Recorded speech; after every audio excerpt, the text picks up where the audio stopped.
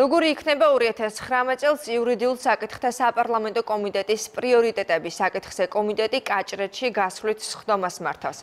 ადგილზე მუშაობს ნათია სონღულაშვილი და პირდაპირ ეთერში გვერდება. ნათია, რა გეგმები აქვს კომიტეტს და მის ახლად არჩეულ თავმჯდომარეს? ამ წუთებში იურიდიული კომიტეტის წევრები მსჯელობენ 2019-20 წლების სტრატეგიაზე საუბარი არის იმ პროცედურებზე თუ როგორ უნდა წარმართოს მომდევნო 2 წლის განმავლობაში კომიტეტმა. მუშაობა გარდა ამისა აქ იმყოფებიან აღმასრულებელი ხელისუფლების წარმომადგენლები და იმსჯელებენ მთავრობის ინიციატივებზეც რაც შეეხება მოსამართლების უვადოდ შეჩერების უვადოდ დანიშნვის შეჩერებასთან დაკავშირებულ კანონპროექტს. იურიდიული კომიტეტის თავმჯდომარე განმარტავს რომ პროექტს განიხილავენ იმ შემთხვევაში თუ ინიციატორები ჩამოვლენ ამ დროისთვის კი ხდომას არ ესწრებიან ეკა ბესელია და ლევან გოგიჩაიშვილი თავრობის წარმომადგენლები, კონკრეტული სამინისტროების წარმომადგენლები, იუსტიციის ministris მოადგილე, შინაგან საქმეთა სამინისტროს წარმომადგენელი და თავრობის საპარლამენტო მდივნის მოადგილე. წარმოადგენენ მათ ხედვებს თუ რა აქვთ მათ დაგეგმილი, რომ პარლამენტს წარმოუდგინონ განსახილველად. აქ არის ძალიან ბევრი მნიშვნელოვანი პროექტი, ეს არის ადმინისტრაციულ სამართალდაღოთა კოდექსის რეფორმირება თავიდან ბოლომდე, ახალი ადმინისტრაციულ სამართალდაღოთა კოდექსის შემუშავება, აქ საუბარი შეეხება ასევე თავდაცვის კოდექსის შემუშავებას. მიუბრუნდებით ასევე კომიტეტის წევრები და აზრს გაუზიარებთ ერთმანეთს, თუ როგორ შეიძლება და როგორი თანმიმდევრობით უნდა განვიხილოთ ჩვენ მოსამართლეთა უადო დანიშნვის საკითხის პროცედურა. ჩვენ ძალიან მნიშვნელოვანი პროცესი გველოდება 2019-2020 წლებში. იუდულ საკითხთა კომიტეტს აქვს ძალიან ბევრი გამოწვევის მიმართაც კომიტეტი არის ადეკვატური და მას ამუშავებს შესაბამის პროცედურების დაცვით.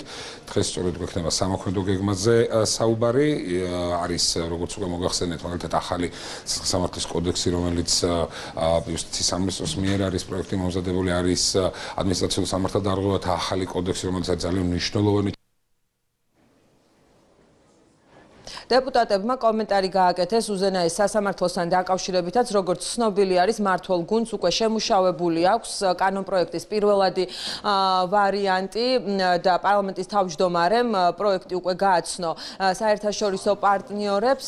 ჯერჯერობით მედიასთან დეტალებზე არ საუბრობენ, რადგან ამბობენ, რომ პროექტზე მუშაობა გრძელდება, ზოგადად კი აცხადებენ, რომ ცვლილებები ითვალისწინებს ღია და გამჭირვალე პროცედურებს.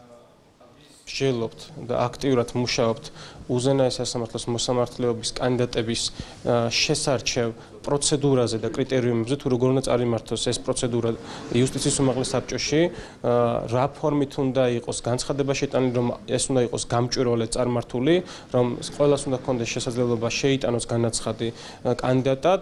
შემდგომ როგორი თანმიმდევრობით უნდა წარიმართოს ეს პროცესი საბჭოში როგორ უნდა იყოს გადაწყვეტილება მიღებული რომ ეს უნდა იყოს ღია და შემდგომ როგორი პროცედურით უნდა წარიმართოს პარლამენტში რომ ჩვენთვის მნიშვნელოვანია თითოეულ კანდიდატს მოусმინოთ ინდივიდუალურად და დავხარჯოთ ბევრი დრო იმისთვის რომ მაქსიმალურად ყველა შეკითხვა დავსვათ და გავაჟღეროთ რაც კი საზოგადოებაში არსებობს და რაც კი ჩვენ გვექნება. უშინ შედგა შეხვედრა პარლამენტის თავმჯდომარე შეხვდა დიპლომატიური კორპუსის წევრებს ელჩებს.